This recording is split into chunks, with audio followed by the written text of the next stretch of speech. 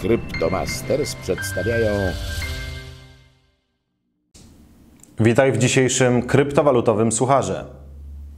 Dlaczego kryptowaluciarze chodzą do zoo? Bo chcą zobaczyć, czy niedźwiedzie wygrają z bykami.